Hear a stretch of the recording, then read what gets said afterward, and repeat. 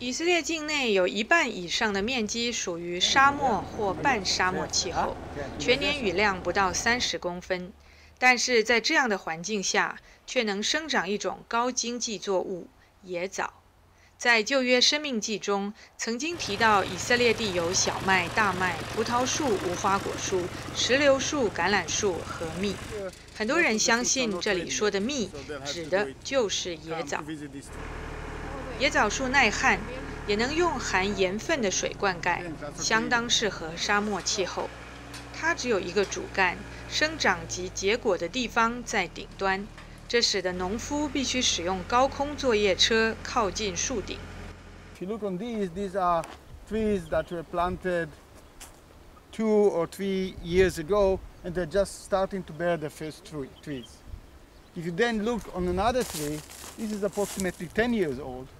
And this will be 30 years old. And you can see that the, the, the height of them just increase and increase and increase.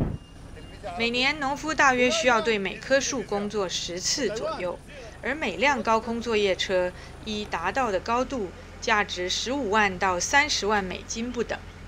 一辆车只能负责五百到六百棵树。以色列有六十万棵野枣树，为此减缓树木生长的速度成为研究人员的重要目标。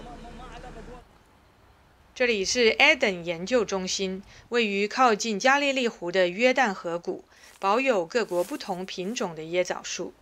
这些种了十几年的椰枣树，从2005年开始使用一种生物合成的生长延缓剂，使用后的树明显减少了五到六成的生长速度，但果实的产量和品质并不受影响。This is the Majul variety. It is just ripened and ready for harvesting. And this is the king of the date cultivars.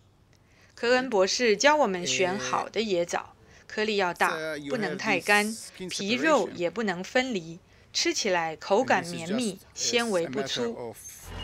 这样的野枣主要外销到欧洲和远东，一公斤可以卖到台币八百元以上。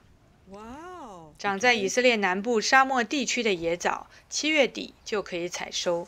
北部气温较低，大约在九十月间，雨季来临前采收。